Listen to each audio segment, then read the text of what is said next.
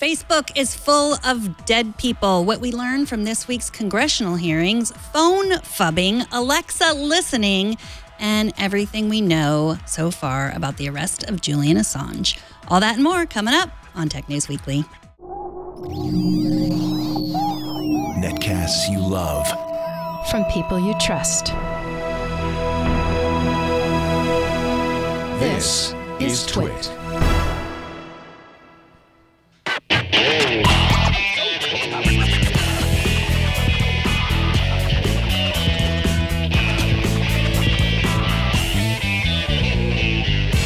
This is Tech News Weekly, episode 78, recorded Thursday, April 11th, 2019. This episode of Tech News Weekly is brought to you by FreshBooks, the ridiculously easy to use invoicing and accounting software. If you don't believe us, try it for free for 30 days at freshbooks.com slash TNW. And by Peak PTT, the leading provider of push to talk systems for business communications. For instant, always on nationwide communications, visit peakptt.com and use the promo code TWIT for 15% off. And by Gazelle, the trusted online marketplace for buying and selling used devices. Visit gazelle.com slash twit to buy a certified pre-owned device and get 10% off your purchase. Hello, welcome to Tech News Weekly. This is a show where every week we talk to people making and breaking the tech news. I'm Megan Morrone. I'm Jason Howell. Welcome back. oh, thank you. Um, and I'll not see you next week. no, thank you for doing. Welcome back and see you later. Yes, yes, we're the team's together for one Yeah. week, and then you're going on vacation. That's Well right. deserved. That's right. Shall we go? Let's do it. Let's do it. So, you found a guardian for your kids, a beneficiary for your life insurance, and a home for your rare comic book collection after you die. But have you given any thought to who's going to manage your Facebook page? Louise Matsakis has. She recently reported on some new features for dead people on Facebook, and she's here to talk about them. Welcome back to the show, Louise. Hey guys, thank you so much for having me. So, back in 2015, Facebook announced the ability to add a legacy contact. Let's talk first a little bit about what that is. So basically, it's someone to be the guardian of your Facebook when you die, right? So the idea is, uh, they can um, they can't delete anything. They can't, uh, you know, look at your direct messages, but they can change your profile picture. They can change your cover photo, and they can kind of write a pin post that is like, "Hey, this is where Louise's funeral is," or whatever, that sort of thing. So it's you know, if you had a joke as your profile image and then you pass away, it allows a family member to change it, you know, to have some control and and kind of tell people what's going on. But they can't go in and respond to your direct messages or anything like that. Yeah, exactly. So they can't change anything, they can't delete anything that you've uploaded, but they can kind of change a couple of things so that it, it you know is in a place where people who are grieving or people who are coming to your profile to remember you, it, it, it's in a more reasonable state for that. Now, there are those things that they cannot change. Do they have full access in that regard to things like the the private messages or anything like that, or is that completely blocked off to to those people managing the accounts at that point? Not. They have absolutely no access. And that's kind of a hard line that Facebook has always drawn, which is that, you know, they're balancing the privacy of the person who's passed away with the uh, family members. So they really don't want you to read any of those private messages. And that's that's totally against their terms of service no matter what. So, Facebook recently made some changes. Talk a little bit about the changes they made to what the legacy um, contact can now do that they couldn't do before.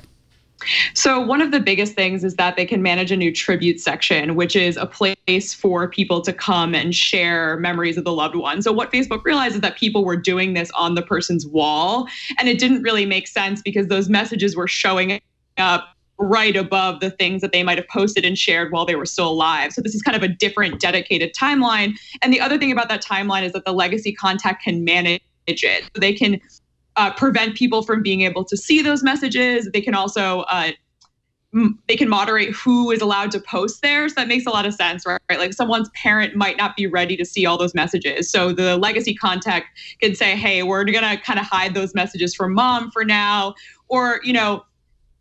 This family member is really not expressing their grief in a way that's fair to everyone else. We're going to kind of exclude them from posting on the tribute section for a little bit. So instead of having it kind of be a free for all where the legacy can't control anything, the tribute section will have a little bit of moderation and it will be separate from the original person's timeline. So it seemed like on Monday, Facebook had a, a couple of announcements around this, uh, you know, around these uh, issues that that pertain to someone passing away. Legacy account, obviously, who manages the account. I know one thing that I've heard about time and time again is this this situation where let's say someone passes away and then someone who knows them really well be it their significant significant other or someone who's really close to them you know it's like their birthday comes up and it appears as if they're still alive or you're creating an event and and suddenly you know it, it suggests that you add this person but that person's not alive. What is facebook doing around that? Because i know that can actually that can be very upsetting to someone uh, to suddenly see that name time and time again posed in a way as if they are still alive when the person obviously knows that they are not. Yeah, so Facebook's kind of vague about this, but they said that they're going to be using artificial intelligence to make that happen less. And one of the reasons that that can happen is that the account is not memorialized. So an account becomes memorialized, it basically becomes frozen when Facebook uh, is notified and they verify that the person has actually passed away. But that process can be um, traumatic, and it's not always something that every family member is ready for. So previously, this is another change they made is that anyone can memorialize uh, a profile. So you know, someone could say, "Hey, Louise is dead. Here's this news story," and Facebook is like, "Okay, we're to memorialize it before." You know, a parent or a significant other or a sibling is actually aware that that's happening. So now Facebook is only going to let a family member or uh, you know close friend do that. But yeah it, it's a really interesting problem that you would go uh, to you know make a birthday party and you'd see your dead sibling as someone that you should invite. So facebook says they're using ai to make that happen less. They're pretty vague about what those exact mechanisms were but it kind of shows this uh, really strange dynamic which what happens when uh, there's a lot of dead people on facebook right or on any social network and these profiles don't go away and facebook kind of has to figure out how to fit them into the platform when it can be traumatic for them to be shown you know shown up in these places there should be like a cremating option like just disappear you know like That's i don't like delete the account right, right. yeah i guess so but they didn't offer that you can yeah.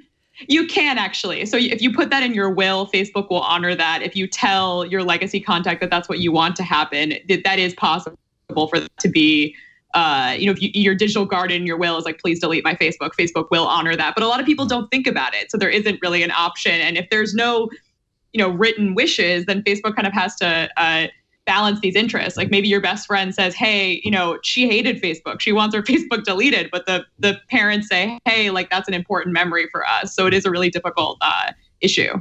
Sure. And I know we're going to find out that like those accounts aren't really deleted, even if you said, and like a year from now, they're going to be like, oh yeah, Facebook is using dead people's accounts that they said they deleted to um, advertise to all their friends or something like that. I'm sure that will happen. I'm not saying it did, but I know that something like that. I wouldn't be surprised. Um, so what I know someone in our chat room is saying, um, you know, that they have a friend whose father died and that person's wife keeps posting on his behalf and it's weird. So we should say that lots of people, you know, among their their partners will give their their passwords. Like I know, and even LastPass has an option that you can, like, if you're not alive anymore, you your your LastPass account. LastPass is a sponsor of ours, but your LastPass account automatically goes to your partner. So there may be lots of people just doing this on their own and posting, maybe not even knowing that you can do that, but posting on behalf because they have the person's password.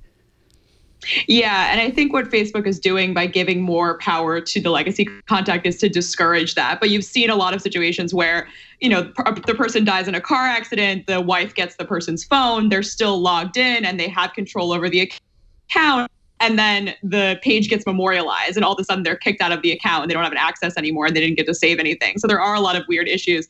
But for sure, that comes up a lot, especially when um, there's a suicide or where the person maybe died because of a crime, there's a lot of interest in preserving the account and preserving the password, um, which is really difficult. And I think, yeah, it's definitely an issue that people are logging into these accounts, and it's something that Facebook definitely wants to discourage by having, you know, allowing someone like that wife to have more control over a dedicated section rather than like you know posting as as his status or something. Mm-hmm. Mm-hmm. Um, well, you spoke to Sheryl Sandberg, um, this Facebook COO, uh, about what would happen if, say, like, you know, my husband is my um, Facebook legacy contact and we both died in a car accident or something at the same time. Um, what did she say to that question? Yeah, so this was really surprising to me because I thought that this was a pretty common issue. So I just brought it up because it seemed like one of the main problems that they weren't addressing. And Sheryl seemed genuinely really surprised by that. Uh, and she said it was something that they were going to look into. But yeah, I was uh, honestly really shocked by uh, her kind of startled response. Uh, but I hope it's something that they look into because I'm sure that it can't be that uncommon. You know, it's something that people have to consider when they're buying life insurance, right? It's really not that uncommon of a problem. Yeah, I thought that was pretty funny. It's just very. Um you know, emblematic of like, oh, really? We never thought of that. Well, there's a lot they hadn't thought of. yeah, I'm happy to help. You know? uh, Louise, thank you so much for joining us. Louise Matsakis is a staff writer at Wired, and you can find her piece. Uh, it is called Facebook Rolls Out More Features for Dead People. You can find that on wired.com. thank you so much for joining us. Thank you, Louise. Thanks. Have a good rest of your day. All right, you too. Thank Talk you. to you soon. Coming up, another week for big tech in Washington, and it was about as counterproductive as it's ever been. But first, this episode of Tech News Weekly is brought to you by FreshBooks, accounting software that focuses on smart and informed decision making and makes it easy to shine a light on the health of your business. From kickoff to billing, FreshBooks actually supports your business every step of the way. Uh, and you can actually give them a try for free today, right away. FreshBooks self employed accounting software is ridiculously easy to use. It's set up to be easy to use. You can create and customize invoices. You can log every hour with time tracking. Uh, it has easy to understand reports, payment scheduling, properly categorize uh, expenses to make filing taxes a breeze. And right now it's tax time. So I'm sure you could, you know, work towards a, an easier tax time next year.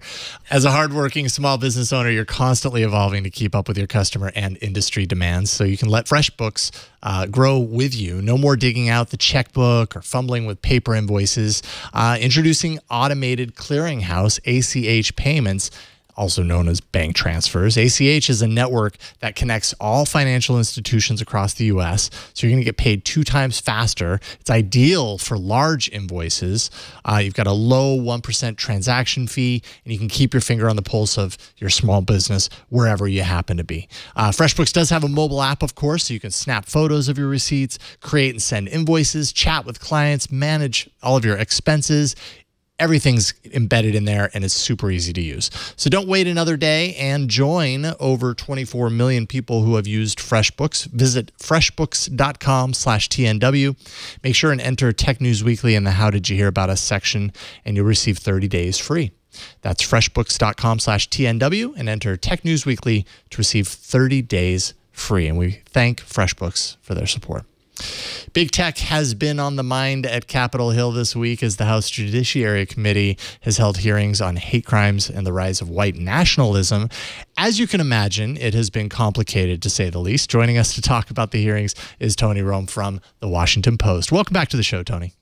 Hey, thanks for having me. It's great to have you back. It's been a while. So, uh, you've been at the hearings this week would you say like being in the room is the tenor in the room been that of finding a deeper understanding reaching a deeper understanding? Or has this like previous congressional hearings on similar topics felt more like kind of confusion of of the issue at hand Yeah, I think it was a mix of both. And, and, and there were two hearings this week. The first came from the House Judiciary Committee, led by Democrats, where lawmakers convened to explore the spread and the rise of white nationalism, particularly on social media like Facebook and Twitter. And then the next day, we saw a hearing in front of the Republican led Senate Judiciary Committee, which focused on allegations that social media sites are biased against conservatives. Those are two very different hearings, but they reflect a similar sentiment among Democrats and Republicans that these companies haven't found the right balance over the right content to allow and the content to block uh, on their social networking sites. So at times we heard some legitimate issues. Uh, Democrats raised, for example, that many of the attacks that we've seen globally over the past year or two uh, have some sort of connection with social media, as the attackers posted very hateful screeds online before they carried out some of that violence. Uh, but we also saw a lot of politics, and that was the case of the Senate hearing, where Republicans say that tech companies are biased against conservatives despite not having an overwhelming amount of evidence uh, of all that. But I think the, the big takeaway here is that we could see a continued push for regulation of these social media giants coming from, from both parties on Capitol Hill. Wow, yeah, it really spreads the gambit, and, and it was interesting on Tuesday. You know, YouTube, of course, was streaming streaming the event, and as you say, you know they were they were talking about white nationalism and how this spreads through social media, and yet here you have the YouTube chat uh, kind of being overcome, overridden, and at, at a certain point being closed off entirely because it was being overrun by these things, indicative would you say, I, I, imagine, of a larger problem, of the greater issue here, which is that it's really difficult to police these uh, social media sites for the people running them to uh, kind of tamp down on some of this, you know, some of these behaviors? Yeah, it was very illustrative of the problem at hand. I mean, on one hand, you had Jerry Nadler, who's the top Democrat on the House Judiciary Committee, listing off a series of instances in which white extremist content online or anti Semitic content online had resulted in real world harm. And literally side by side, you had YouTube users, anonymous YouTube users, who were posting extremist, racist, anti Semitic comment on the site. It was, it was the greatest illustration we've seen to date of the exact problem these lawmakers uh, were trying to explore. And it actually led Congressman Nadler to point this out during the hearing to say it's exactly why lawmakers are gathered. But I think the reason there's frustration on Capitol Hill is because this is such a very easy problem to the naked eye to fix. It's people posting very obviously racist and extremist content. It's in the light of day. It's on a public facing website. These companies are multi billion dollar international tech behemoths that talk up the power uh, of their artificial intelligence tools, but yet they can't stop hate speech around a hearing on hate speech. So I think it's just kind of read off to lawmakers, uh, you know, an example that these companies haven't really figured out the right balance and aren't doing enough to stop harmful content online. Well, Tony, you've been uh, you've been doing awesome coverage as you always do. We love getting you on the show. We really appreciate you taking the time to join us. Uh, you can follow Tony Romm's work at the Washington Post, WashingtonPost.com, of course, and uh, we'll check in on you next time. Tony, thank you so much for joining us. Thanks for having me. Take care. After the break, are smartphones systematically dismantling all our most important relationships? We'll find out. But first, this episode of Tech News Weekly is brought to you by Peak PTT, the leading provider of push to talk systems for business communications. Company cell phones are not only expensive, but they can also be huge time wasters for employees. You know what I'm talking about. Whatever um, you app, all those apps that we love, um, it's not so great when your employees are spending all their time on that instead of using those as communication tools as you intended. You can boost productivity and cut down costs today with Peak PTT. Peak provides advanced IP based push to talk systems for small, medium, and enterprise businesses. Leverage the internet, cellular data, and Wi Fi networks to transmit voice over the internet. Uh, they provide instant talk, location monitoring, and emergency alert notifications. Local, nationwide, and worldwide coverage, rugged devices. They're uh, made to withstand dirt, water, and extreme temperatures. There's no contract, and billing is month to month. Less than one second connection time. Hello, Burke. Can you hear me? No.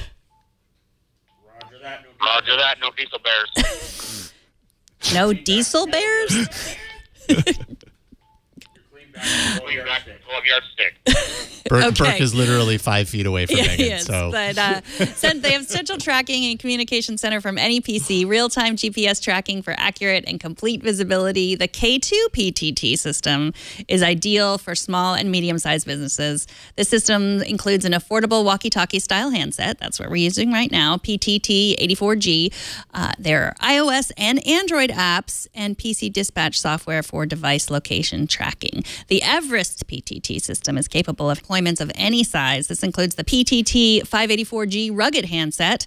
Five nines of network availability. They also have lower latency rates than some of the most significant players in the industry. PC based dispatch console to locate devices on demand and view on a map. Push to talk calls last an average of 15 seconds versus 50 seconds for traditional calls. Get in touch faster and operate more efficiently with Peak PTT. Visit peakptt.com and use promo code TWIT at checkout for 15% off. That's peakptt.com and use promo code TWIT at checkout for 15% off. And we thank Peak PTT for their support. Over.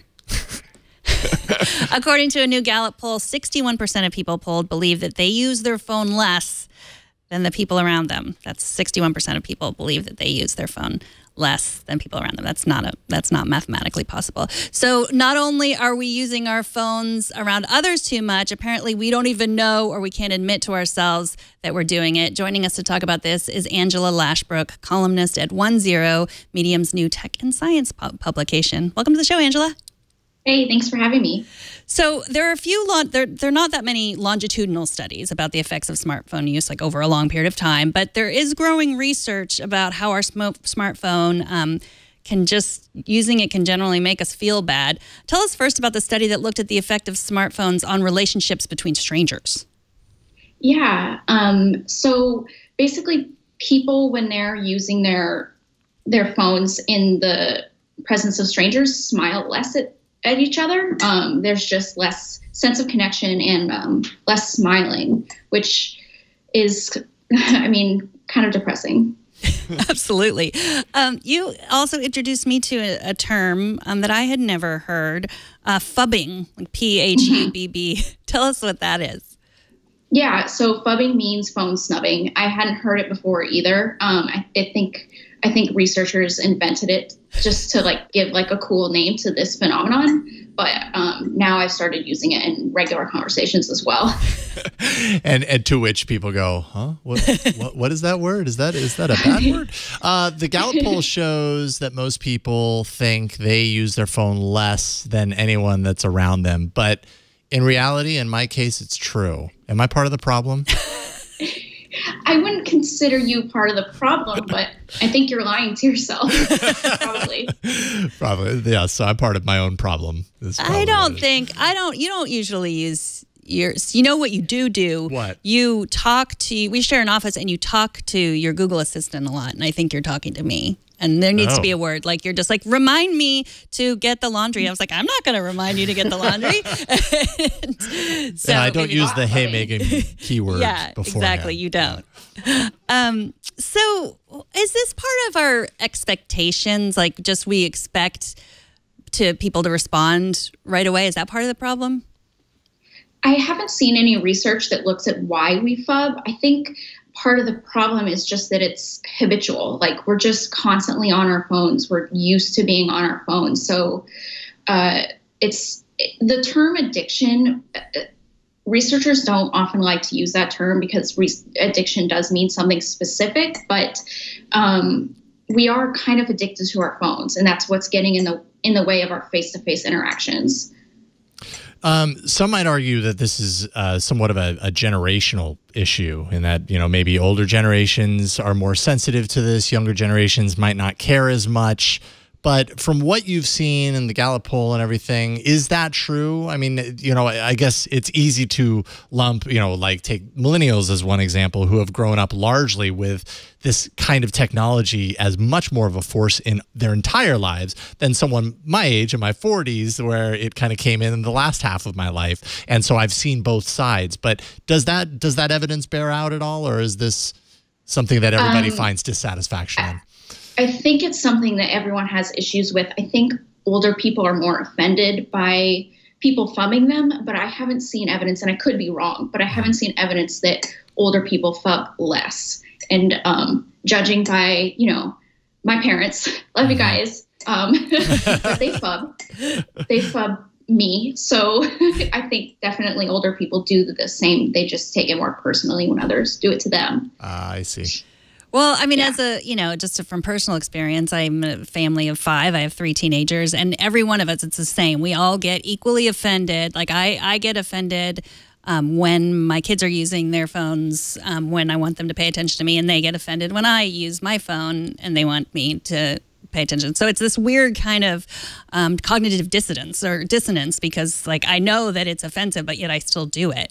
Um, are there any tip? I mean, are there any? Wh- what's the solve this problem for us, Angela? What do we do? I mean, I think that I, I, I, I um, concluded my piece with this, and I think it's pretty simple. You just need to like put your phone away, uh, and that's easier said than done. I realize, but when you look at like how it impacts, like you, you brought up your kids, it your kids notice and they like take that with them, and then you're also end up finding less meaning when you spend time with your kids. And that's like why so many of us have kids is because it gives our lives meaning. So I think it's just like realizing the impact and then putting your phone on silent in a way when you're with them. Yeah, gaining awareness around that. You also mentioned though in your piece, like I know sometimes when I go out to dinner, you know, my wife and I go out out to dinner. Sometimes I have the phone on the table at the where we're at, but I have it screen down.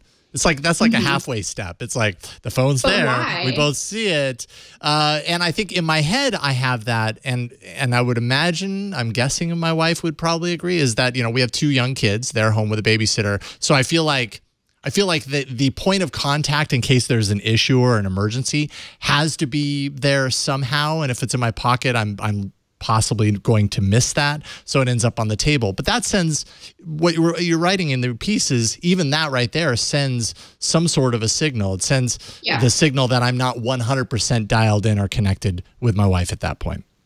Right. I mean, obviously, if you're concerned about like your kids at home without you, maybe it's worth phubbing your wife for that reason. but uh, but yeah, mutual phubbing. yeah, exactly. Um, so there was uh, one piece, one part of your piece that really struck me. That there was a study that shows having uh, your phone out in a social situation might did lead to some good in terms of like anxiety. Can you talk about that? Yeah. Um, so if you are going into a social situation and you feel anxious about the situation, if you have your phone with you but not in use, you are more likely to feel less anxious than if you didn't have your phone at all or if you were using your phone actively. So there is like some benefit to having that phone near you when you're feeling nervous, but um, but yeah, don't use it because that will make you feel worse. I'm curious if you have any any solutions to this problem. Is that obviously using our phones uh, when we're with someone else pulls us out of the situation, uh, out of our connection with them.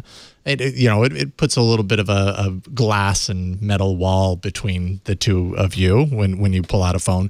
Yet we use our phone for so many things, one of those being taking pictures, which many people would say, you know, if it wasn't part of a phone, if you just had a camera that you were pulling out, that wouldn't necessarily be a disconnection of the relationship between the two people. Right. That would be kind of symbolize or you know symbolizing that that moment uh, with each other. But now that's part of the phone itself. Is there some uh, like confusion there as far as how that how that translates into the the lack of connection? So, so what some of the researchers told me is that the phone use that you your phone use when you're with someone else should be useful to that other person. Mm. So if you're taking photos of that other person, you're taking photos of the food or whatever, that communicates that you're engaged with them in that situation. Right. Whereas if you were just scrolling Twitter, you would you would be sending a signal that you're not engaged. Basically, I, I can't remember the exact quote, but someone said something like, the phone use needs to provide value in that moment to both of you. So that's how I would put it. Is the phone providing value to the other person? If not, then you should put it away. Yeah, like that. And it's so it's hard because our phone is so much. I mean, I found just recently I deleted um, the Twitter app from my phone and I deleted the Poshmark app from my phone, both which were um, addictions. I, I, your giggling makes me believe you know what Poshmark is. Not everyone does. Yes. you can sell and buy clothes, and it's a good app and it's great to like reuse things and everything. But I found that there was so much mindless scrolling, scrolling, and it was so shocking to me because since I did that. I, my battery life in my phone like literally would not go through the day, but now it I go you know, it's like 75%. And I'm sure that nice. maybe like those apps were pulling battery life, but I was just using them so much. So I think if you can't just, if like saying put away your phone is too hard, I just think they're, pro- it's a good idea to look at some apps that might, you might be spending too much time on. That's my personal. Yeah. I need to delete Instagram. That's my next step. Yeah. well, yeah, I couldn't do that. I just moved it off the front page. That's that's my life hack. Move it off the front page of your um, your phone. Angela, thank you so much for joining us. Angela Lashbrook is a columnist at One Zero on Medium. She's previously written for The Outline, The Atlantic, and Vox.com. She is Lemon Sand on Twitter. And uh, go to One Zero, check out her latest piece about how the next wellness trend should be Google spreadsheets. Oh. This is a good one. Um, I agree, by the way. Thanks so much for joining us. Thank you. Bye. Thank you, Take Angela. care. Okay, really, is your smart home assistant actually filled with people listening to your every word? We're yes, going to talk little about that. Little tiny people. Yeah, little tiny people in there. But first, we'll talk about that in a second. But first, this episode of Tech News Weekly is brought to you by Gazelle, the trusted online marketplace for buying certified pre owned devices. You've set your creative and professional goals for this year, uh, but do you have the right tools to tackle them? It's time to upgrade your devices, and you can do that with Gazelle. Devices are in fair, good, or excellent condition and all at great prices. Everything from iPhone 6 through 10 to a variety of Samsung Galaxy phones. They also offer MacBooks, both Air and Pro, and then also iPads, Standard, Air, and Pro. Each device goes through a thorough 30 point inspection. Devices are backed by a 30 day return policy, no restocking fee, and free shipping. All of their products are sold without a carrier contract and are available for support by major carriers or unlocked. And also, if you need financing, financing is available on all devices with Affirm. Uh, you can get instantly approved pay off in three, six, or 12 months. So you're not signing your life away. Uh, you just select financing with Affirm at checkout. With Gazelle's incredible selection of quality pre owned devices, they're also an excellent choice for students. Uh, so if you don't know what to do with your old devices, you know, I know for, for myself, I go through a lot of devices and they end up in a drawer. And it's like, I don't know what to do with these. I want to donate them. Do I want to sell them? What do I want to do? Check out Gazelle for competitive offers on your used phones, tablets, and computers and put them to use again, right? Like put them in somebody's hands that's actually going to do something with them. Level up this year with new tech from Gazelle. Visit gazelle.com slash twit, and you can buy a certified pre-owned device and get 10% off your purchase. That's gazelle.com slash twit. And we thank Gazelle for their support of Tech News Weekly. We've become so accustomed to those talking smart home hubs in our homes uh, those of us who have allowed them in, anyways. It's almost as if there's a real person in there. The Google Assistant answers questions. Amazon's voice assistant tells us the weather. They're like little robot friends. Well, Bloomberg has a report out today that says that thousands of Amazon employees are actually tasked with listening to voice recordings from Echo devices around the world in order to transcribe, annotate, and then upload them back into the software to improve things. This is all done to improve the accuracy of the voice transcription and sort of fill in the holes left behind by the devices because nothing's perfect, of course. Uh, but this is sure to stir the, the privacy feathers of concerned users, and especially those who have been saying all along, oh, hell no, I'm not bringing one of those into my home to listen to me all day and night. Uh, it turns out, you know, that people have often, you know, their pushback on this is, yeah, well, once there's an always listening device in my home, then you know what is it going to pick up? Is it always picking up just when i give the you know give the proper uh, wake word? Or you know as we know inadvertently it wakes up throughout the time. I know if i logged into my google account there's a ton of recordings that you know that have been issued as assistant commands. Not all of them were intentional yet there they are and in the case of Amazon, anyways, I, honestly, I wouldn't be very surprised at all if Google it does this also. Uh, there are actually people listening to a very small percentage of these, but when you're talking about the amount of devices worldwide, even a small percentage is a lot of recordings. So potentially a lot of people. Yeah, it's one of those things where, like, we've literally, I have said this, like, it's not like someone's sitting around Amazon listening to your conversations. but, uh, you know, what do you know? They Yeah, are. They are. Um, it is, uh, it's disturbing. And it's also like, I, it's like, oh, well, obviously, this doesn't really surprise me that much. Right. Um, you know, we've I've done a segment on how you can delete your recordings because they're all there. You they don't let you do it from the app. You have to go to the Amazon website and go and log in. They do not make it easy, and you can go through and delete them. And um, some people have done that and noticed that it's even like work, their Amazon Echo is uh, better because I don't know why, but maybe just like getting rid of all the um, Cruft. yeah, the cruft exactly makes it um, listening. But this is really disturbing. They had chat rooms. These people listening had chat rooms where they would send around funny stuff, like a funny recording. I mean, if I've listened to my Amazon things and it's embarrassing, like the things I ask for, or just when it picks up stuff that it doesn't, um, didn't, you know, when I didn't, I had no idea it was listening. Also, they said that people heard like things that they thought maybe it was a sexual assault going on or something, and they were Amazon told them don't do anything about it. We don't, you know, we can't get involved. Which at one point is like, oh, you know, that's a terrible place to be. Terrible place to be for the worker, right? Yeah. And then you can, I don't know if I'm or the person being assaulted. Well, absolutely. Well, Yes. no. Well, yes. Okay. Terrible all around, Yeah. of course. Right. Um, but then, of course, there's Amazon thinking about their own liability, right? Mm-hmm. This is never anything that they've put out into the public to say, oh, yeah, so by the way, we have people, you know, actually humans listening to your Mm-hmm. recordings. It's not something they have in the terms of service. Pro- I mean, arguably, it probably should be, but it's probably not something that people actually think is happening. Yet, when you take a look at how this technology is developed, like it to a certain degree it makes sense right like we tend to uh, hail AI as like the solution to every every world problem that there is, and AI will solve the problem. Uh, there's still humans that created the AI, and AI still makes mistakes. And sometimes the best way to correct those mistakes that a computer is making is to have a human look at it and go, "Oh, that's not saying." that word that's saying this other word and for whatever reason i as a human can determine that but a computer has a hard time determining that through the microphone um, so I, I don't know. Yeah it, it puts it puts the workers in an, un- an uncomfortable position. At the same time i'm, I'm kind of not surprised that they do this. And like i said i'd be very surprised if google didn't also do this because they have to from their perspective they have to improve their technology somehow. And this is one effective way to do that. Yeah. it's just privacy wise uh, the implications are uh, just strange especially when they don't tell you about it. Right, exactly. They say, I mean, they say that they listen to your conversations to make. Um, I can't remember what the exact words, but it, it was um, to, to to improve them. You know, Amazon says we use we use these recordings to get a better understanding of what you're saying. Um, so, but I think it's just like I personally never wanted to take that next step to imagine somebody in a chat room saying like, "Did you hear what that?" Oh, that-" I know, You right. know, Yeah, with the, that argument she had with her husband. Woo, glad I'm not him. You know, which I'm sure they're doing, but I just didn't want to imagine it, and now I have to.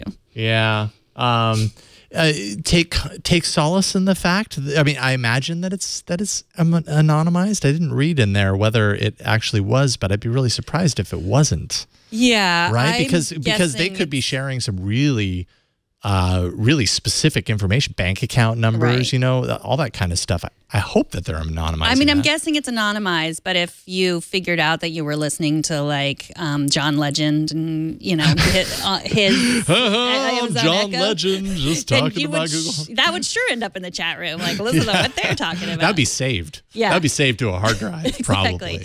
So yeah, I mean, I think you mentioned this, but this was all uh, sources that didn't want to speak on the record. Yeah. Um, but it's Bloomberg, so um, you know they they had signed an NDA, so um, I have no reason not to believe that this is Mm-hmm. true. Yeah. It's interesting. I mean, it'll make it makes it, it'll make you think twice. You know what I mean? It's it's easy to think of these home assistants, and I know I'm totally guilty of it, being like, ah, there's no there's no there there. It's just a device, and you know there there are always the the really privacy minded people have been saying from the beginning, like, why would you be crazy so crazy as to bring one of those into your home? Uh, only bad news, maybe long term. Maybe we're still in the short term, and the long term ramification is this is the beginning of something big, bigger. You know, like a an example of a million little cuts. This is just one of those little cuts. Maybe it grows to something bigger, but it's impossible to know. But something to to consider about those devices. Breaking news this morning, Thursday, uh, WikiLeaks founder Julian Assange has been arrested and charged with conspiracy to commit computer intrusion. Assange was removed uh, from the Ecuadorian embassy in London, and the U.S. Department of Justice unsealed charges that Assange helped Chelsea Manning acquire U.S. sec- secrets. Some people are saying that Assange's arrest is a violation of the First Amendment, and he was uh, just doing his job as a journalist. Um, at issue also is uh, really the heart of this issue is whether Assange asked Manning to do what she did or simply encouraged her. Um, there's some text about, you know, there there were these um, hacked these passwords that um, they have notes of what he said about getting those passwords. So it's um, yeah, it's obviously a continuing story, um, but the indictment says Assange conspired to assist Manning in cracking a password, and uh, that's what they'll have to figure out. Right. And, you know, and this uh, complicated for a number of reasons, right? Uh, is WikiLeaks a journalist organization, or is it a wing of the the Russian government uh, informational intelligence uh, aspect of things? Was the information that Assange exposed a threat to national security, or was it simply evidence of wrongdoing? And you know, and the U.S. doesn't like that. Doesn't like the fact that evidence of wrongdoing was exposed. Um, he's also, you know, part of this is the fact that he skipped bail on a sexual assault case, and so that you know that's another kind of convenient convenient reason uh, along along with you know the, the the Mueller report timing. There's just all these things coming coming together. When I think of of Assange, and I and I always see everybody has very specific specific deep rooted feelings as far as whether what he did was right or what he did was wrong, whether he should be extradited or whether he should be, you know, relieved of all charges and everything. And I find myself, unfortunately, I find myself so still in the mist on this, always trying to figure it out because I I see both sides. Like I mm-hmm. can I can understand both sides of the argument, and I really don't know how I feel about it. But if if it comes down on a journalistic side of things uh, he shouldn't be extradited, right? Because he would be a journalist, uh, you know, reporting. But what what he's charged with here isn't necessarily just reporting information. He's charged with actually, you know, conspiring, actually being involved in extracting uh, this information. And does that make it less of a journalistic move and more of like an activist? Move. I don't know. It, it, the whole thing is is rather confusing to me. But th- this is a big day, obviously. Nonetheless, mm-hmm. I mean, 2012. This this guy's been holed up for years, and you can tell in his beard. yes, you can. You can tell it in his beard. You could you could see it in his beard. A good point. Um, there it is. There's the beard. I mean, again. it's yeah. All things aside, it's it's a pretty epic uh, epic look he's got going right now. Yeah. Uh, um, anyways. So yeah, the, I'm sure that Leo's going to talk about this on Twit. For sure. Um, he'll be back to talk about it um, at length, and uh, yeah, so we'll be following the story as well. That's right. Leo will be fresh back from Hawaii. His beard, I hope. Yeah, his. Like hopefully, that. he has an epic beard as well. yes. uh, to show off. Um, we'll see. You'll have to tune into Twit to see. Tech News Weekly records live every Thursday at 11 a.m. Pacific at twit.tv slash live. You can be part of the show by emailing us tnw at twit.tv. Subscribe to our show at twit.tv slash tnw. Um, you know, you can also listen or watch right on the web too through um, Apple podcasts now. You can go right on the web. You don't even, you know, just watch straight from there. But you can also watch it twit.tv slash TNW. You can watch straight on the web there. So either way, wherever, we don't care where you watch We're it. all over the we web. We just basically. want you to watch it. Yeah. Um, and if you want to tweet at me, I'm at Megan Morrone. And I'm at Jason Howell. Thanks to the Johns. Thanks to Burke. Thanks to Alex. Thanks to you for watching. We'll see y'all next week. Well, Megan will. I won't see you. I'll be on vacation. Uh, anyways, next week's Tech News Weekly happens next Thursday. So join Megan then. Bye, everybody.